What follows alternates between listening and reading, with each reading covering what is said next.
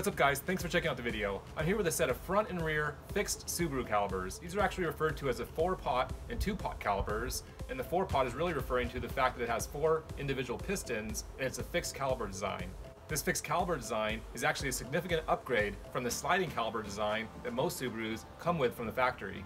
I bought all four of these calipers off of Craigslist and I'm going to clean them up and at a later date I'm going to make an install video where I put these on my 1998 two-door coupe. But for now, I thought I'd throw the camera up and make this little video to give you guys an intro about why I bought these calipers and walk you guys through how I like to clean them. So thanks so much for watching guys. I'm Luke, this is the Subaru Only Show.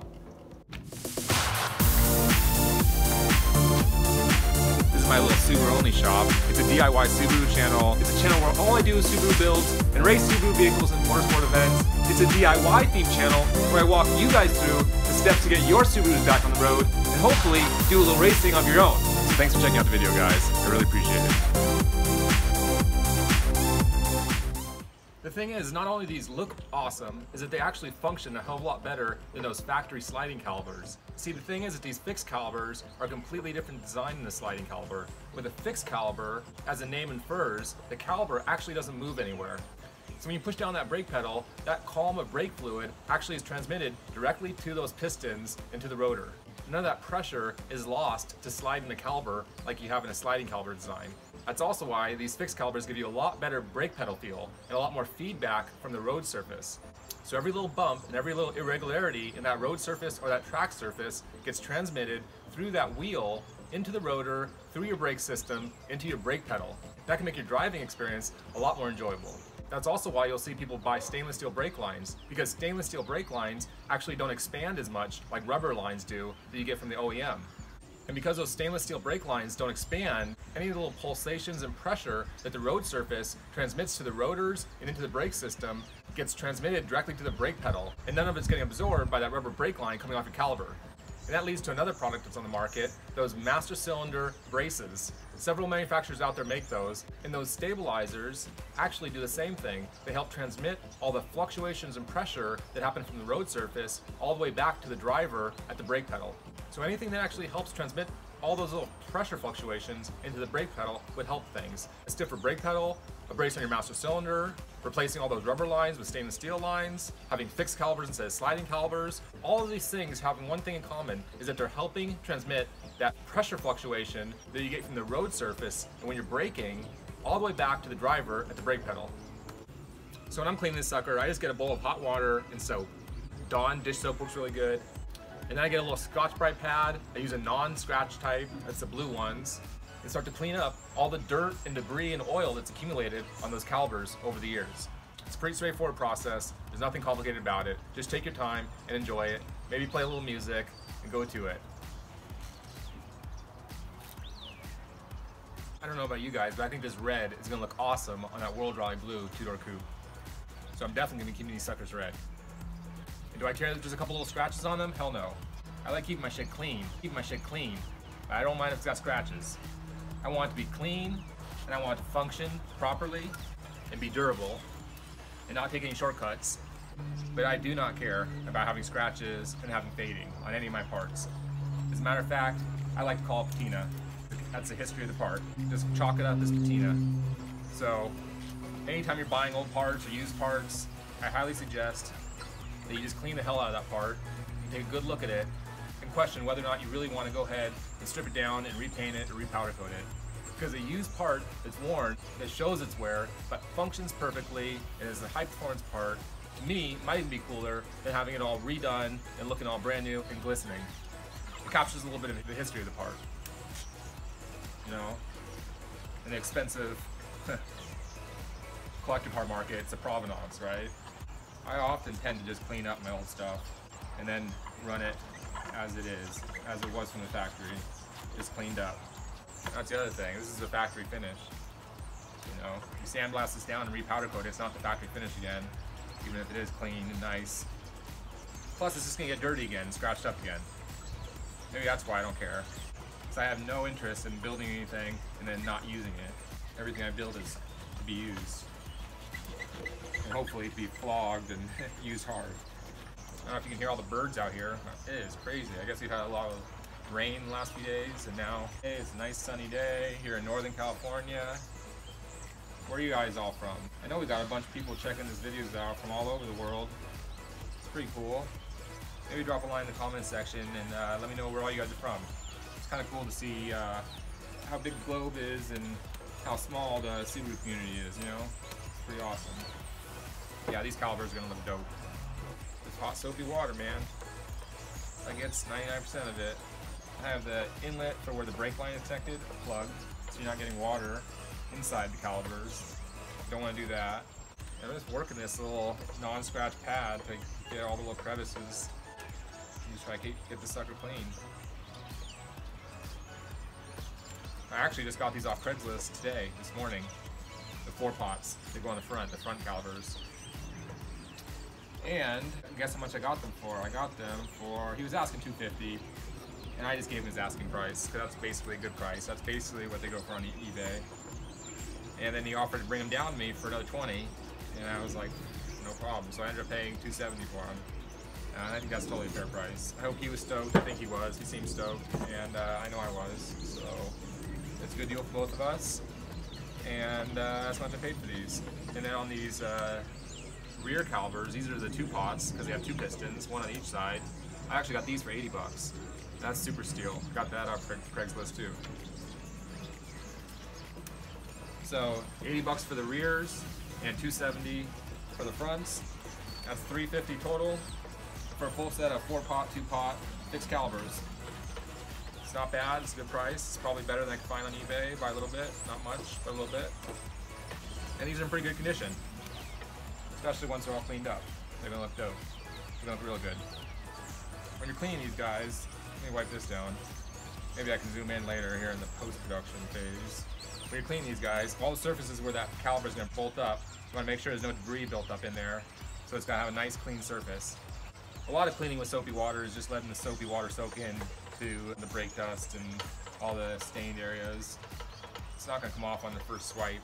Kind of got to just keep like getting that soapy water on there and working it in with the abrasive side of the pad. And then let it soak and just keep going over it a few times. And before you know it, it's gonna look pretty dope. And it'll be clean. Another thing that's cool about these calipers for Subarus is that these actually work on my 04 Forester too.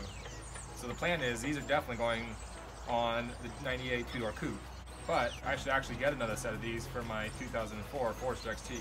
And I've got my 93 Legacy, it's a first generation Legacy, and I'm pretty sure that these calipers are bolt onto that car too. So eventually I'd like to have a set of these fixed calipers on all of my Subarus. And I actually have a fourth Subaru right now. I have a 94 Subaru that's a GF body. That's a GC body, but the hatchback four-door. Now I didn't mention it, but I actually got the rotors with these calipers too. So I paid 270 or 20 bucks for the guy to deliver it. So 250 and 20 for these calipers and for the rotors, which which I think is a pretty good deal. But I don't know if I'm going to use the rotors. They definitely need to be turned, which you can get done pretty cheap locally. Or maybe buy some new badass looking rotors from somebody like Rally Sport Direct, who I like to work with. They're one of my favorite, you know, Subaru performance parts outlets. Because they have fast shipping, great website, good customer service. I love Rick and his videos on YouTube, so I give him a little prop here and there anytime I can. Maybe someday Rally Sport Direct will be a sponsor of the YouTube channel. That would be good. I really think they should be. It's a proper partnership, I think. I buy a lot of parts from them. I actually had a little shop, uh, have my retail license, and I bought from them from their wholesale side. So I've already worked with them in that respect. So what do you think, Rally Sport Direct? What do you think, Rick? Or whoever else is watching from Rally Sport Direct? What about a little sponsorship for the YouTube channel? Subaru Only, sponsored by Rally Sport Direct. All right, this is what they're looking like. I think they've cleaned up pretty good. It's a nice, bright, brilliant Subaru red, factory powder coat red. So a little bit of hot soapy water, a little bit of dish soap, and a non-scratch pad. And these calipers are looking awesome. Man, those look good. Can't wait to put that in the car. All right, guys, well, that's it for today. I just want to give you a quick update on these calipers, talk a little bit about a four-pot caliper, two-pot caliper, and why these fixed calibers are so much better than the sliding caliper design that most Subarus come with. I hope you enjoyed the update. Looking forward to making a video on installing these calipers on the GC Coupe right there behind me. So thanks again for checking out the video, guys. I'm Luke. This is the Subaru Only Show. If you have any questions or comments, please leave them in the comments section. If you liked the video, please go ahead and give it a like. Until next time, guys. Later.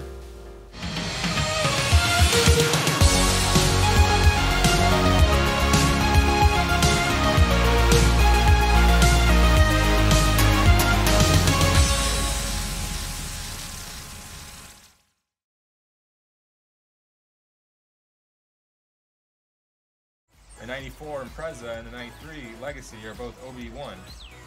And they went to OBD2 in like 96, 97 in the US market. But they stayed OBD1 in the Japanese domestic market up until like the early 2000s. So all the engines, if you get from Japan, are going to be OBD1 all the way up until like the early, sometime in the early 2000s, I don't recall offhand. So if you want to buy a JDM motor, and you want to swap your JDM motor into a US model, because I'm here in the United States, in the US, we didn't have turbo Subarus really. we had the Legacy for a couple years and the first gen Legacy, but we definitely didn't have the first gen Impreza with any turbos. We didn't get the turbo Impreza until the 2002 Bug-Eye. And then I'm pretty sure, yeah, we didn't get a STI until 2004. But European market, Australian market, Japanese market, of course, they've all had the first gen Impreza with turbos and and the STIs and the RA model and all these badass special edition models all through the early and mid 90s. So in the US market, basically, I think everybody agrees across the globe that first generation Imprezas are the best looking Imprezas and they're the most lightweight and the best platform for any kind of motorsports application of, with a Subaru. So if you want to race a Subaru and you're in a first gen Impreza because it's one of the lightest weight platforms and the smallest platforms and it has a real good wheelbase to work with, then you gotta get a turbo motor in there. And there you go. You gotta start thinking about how you're gonna get that turbo motor swapped in. Now, of course, there's a lot of different ways to get a turbo motor swapped in a car. Companies like iWire are great for helping do the wiring and work with the ECU or get you different ECUs. You can also do standalone systems like AEM makes or Power FC, I believe, is a company used to make them back in the day for these you can still get. There's lots of options for you know engine management. And that's something we're going to dive into at some point, probably with the GC Coupe before any of the other ones. But the first step is to get it all legal. And to get it all legal, I got to basically have all of the US domestic market smog equipment on, and I have to run a stock ECU map. I have to have it actually certified by a Subaru dealership that's running a factory stock map. And then I have to go to a special, you know, Bureau of Automotive Repair or, or you know, Air Resources Board station to have them inspect the vehicle and verify all the documentation, paperwork, and uh, make sure that it passes all their criteria before they'll give me actually something called a bar tag, which means that I can get this thing smogged every couple years. Because in California, you have to smog your vehicles every two years. And if you swap an engine into a vehicle, you can't get it smogged unless you go to this bar inspection station first, or the air resources inspection station, I think it is. So that's the plan with this car get it all legal to get inspected by the Air Resources Board, get the bar tag so this car is totally legal and I can get it past smog. And then uh, maybe we'll start turning it into a little bit more of a badass race car and swap a couple of different engines into it and do different things from that point forward. But that's the starting point. You got to have that tag your, on, on the chassis of the car. And then you can start swapping engines and doing all different kind of stuff and that tag is still on the chassis. But these calipers are definitely looking pretty dope